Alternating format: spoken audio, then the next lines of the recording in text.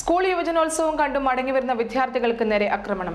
കഴിഞ്ഞ ദിവസം ആയഞ്ചേരിക്കടുത്ത് വെച്ചാണ് രണ്ട് വിദ്യാർത്ഥികളെ ഒരു സംഘം ആളുകൾ ആക്രമിച്ച് പരിക്കേൽപ്പിച്ചത്. കടമേനി റഹ്മാനി ഹയർ സെക്കൻഡറി സ്കൂളിൽ നിന്നും തോടന്നൂർ സബ് ജില്ലാ കലോത്സവം കഴിഞ്ഞ് മടങ്ങി വരുന്ന വിദ്യാർത്ഥികളെയാണ് ഒരു സംഘം ആളുകൾ ആക്രമിച്ചത്. Kadameri R S C higher secondary school വിദ്യാർത്ഥികളായ Muhammad Fayis Fayis C തുടങ്ങിയ വിദ്യാർത്ഥികൾക്ക് നേരെയാണ് ആക്രമണമുണ്ടായത്. ഇരുവരും പ്ലസ് ടു വിദ്യാർത്ഥികളാണ്. റഹ്മാനിയ സ്കൂളിൽ നിന്നും ബൈക്കിൽ നാട്ടിലേക്ക് വരുന്നതിനിടെ ആയഞ്ചേരിക്കടുത്ത് വെച്ച് ഒരു സംഘം ആളുകൾ ബൈക്ക് തടഞ്ഞു വെച്ച് ആക്രമിക്കുകയായിരുന്നുവെന്ന് ഇരുവരും പറഞ്ഞു.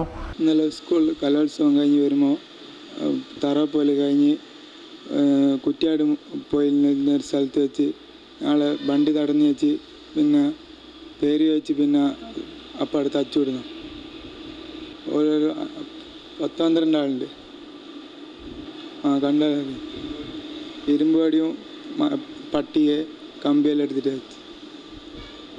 പരിപാടിയും കഴിഞ്ഞ് പോന്ന അന്നേരം പെട്ടെന്ന് വേണ്ടി നന്ദിനിയിൽ തലക്കിട്ട് വെച്ചിട്ട് കൈ കൊണ്ട് എടുത്ത് കൈ പൊട്ടി തലക്ക് കൊള്ളാത്ത ഭാഗ്യം. ഈ പ്രദേശത്ത് പാർട്ടി സ്തൂപം തകർത്തതുമായി ബന്ധപ്പെട്ട് ചെറിയ സംഘർഷാവസ്ഥ നിലനിൽക്കുന്നുണ്ട്.